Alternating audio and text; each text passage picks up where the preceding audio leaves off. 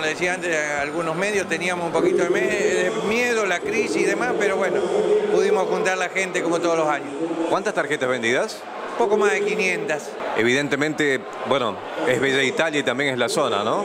Sí, realmente hay gente de toda la zona, como todos los años. Bien, eh, a propósito de la zona, a propósito de esto que es la conectividad entre Bella Italia y Rafaela, acercándonos ya es realmente una realidad, le falta muy poquito a la tan ansiada ciclovía, ¿no? Sí, realmente ya, ya le falta muy poco, incluso ya, ya la gente, algunos la están usando, eh, así como está, así que sí, realmente es una obra con más de 20 años que se estaba esperando y bueno, ahora nos queda un tramito a nosotros ahí que estamos haciendo la gestión ante el corredor vial, vialidad y el gobierno de la provincia, a ver si podemos hacer esos 400 metros que son la, el mejorado banquina en el tramo de Bella Italia. ¿En cuánto tiempo calcula que eso puede estar definido, terminado?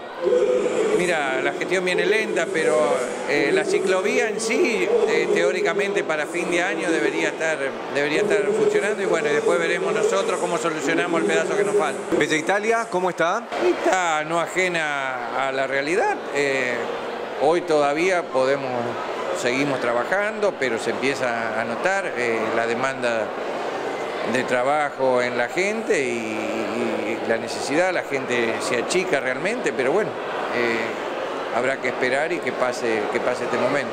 Héctor, bueno, nuestro reconocimiento a un trabajo absolutamente continuo y en particular cuando uno observa las localidades que congregan a tanta gente, evidentemente es un síntoma de que la comunidad está unida, ¿no? Así se observa también.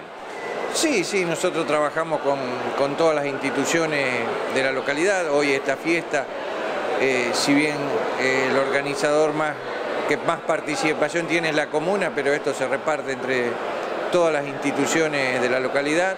Y bueno, y también agradecer a la gente que vino y a la gente que trabaja en la cocina desde hace muchos años también.